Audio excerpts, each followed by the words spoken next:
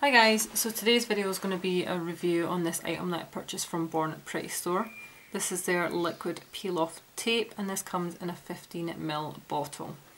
So the instructions that they give is to apply it quite thickly so it's easier to remove. And it comes just like it is an actual nail polish as you can see here. And I'm just going to apply it around my nail. I have actually used it already um, and I have found it works quite well but I will just demo it for you today.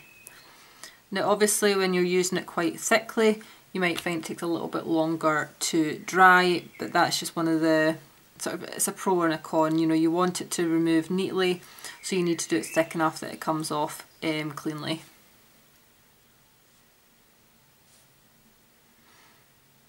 I find it really easy to apply with the polish brush it goes on exactly where you want it and as you can see it goes a kind of iridescent type colour.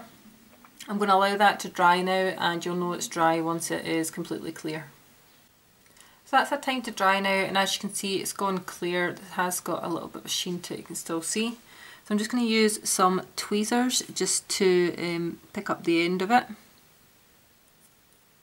And once you get a hold of it, as you can see it's fairly easy just to peel off.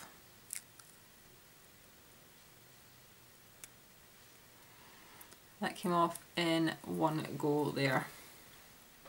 So yeah, I would recommend this product. They are usually affordably priced. You can watch out for them being on special offer if you want to get them a little bit cheaper like I did. I'll leave a link below where you can purchase it, but they do do a lot of really nice things for nail art.